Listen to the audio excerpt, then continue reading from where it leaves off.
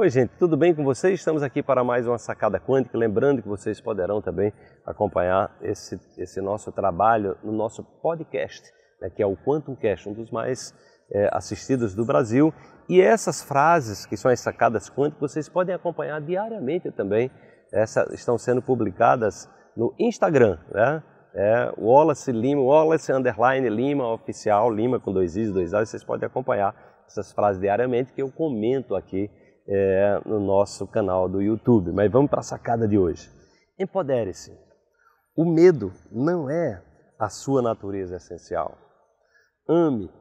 Só o amor pode te colocar na dimensão de quem você verdadeiramente é. Então, o medo, na dose certa, ele pode nos proteger dos perigos.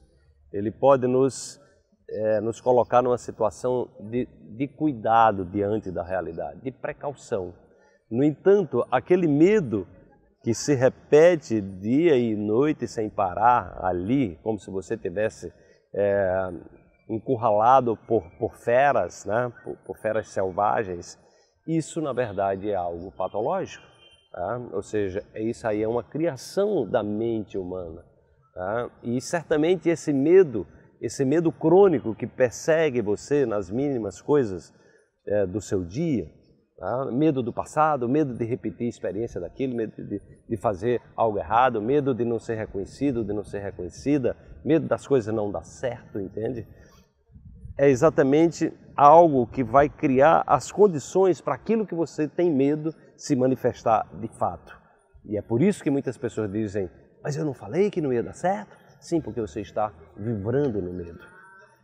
A partir do momento que você entenda que o antídoto do medo é o amor, ou seja, a gente é, se expressar no mundo é, sempre na perspectiva de fazer o bem e de ver o brilho do outro como algo que vai também criar as condições para que você brilhe também.